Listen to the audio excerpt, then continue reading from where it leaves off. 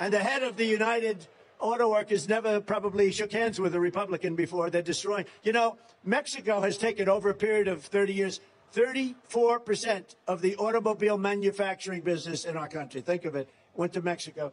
China now is building a couple of massive plants where they're going to build the cars in Mexico and think, they think that they're going to sell those cars into the United States with no tax at the border. Let me tell you something to China. If you're listening, President Xi, and you and I are friends, but he understands the way I deal, those big monster car manufacturing plants that you're building in Mexico right now, and you think you're going to get that, you're going to not hire Americans, and you're going to sell the cars to us. No, we're going to put a 100% tariff on every single car that comes across the line, and you're not going to be able to sell those cars. If I get elected, now if I don't get elected, it's going to be a bloodbath for the whole. That's going to be the least of it. It's going to be a bloodbath for the country. That'll be the least of it. But they're not going to sell those cars. They're building massive factories. A friend of mine, all he does is build car manufacturing plants. He's the biggest in the world. I mean, honestly, I joke about it. He can't walk across the street, and that way he's like Biden. But for building a plant, he can do the greatest plants in the world, right? That's all he cares about.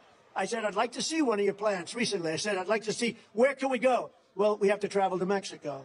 I said, why Mexico? He said, because that's where the big plants are building. China's building really big plants in Mexico, and Mexico's building. What about here? Well, we're building much smaller plants here. Can you believe it?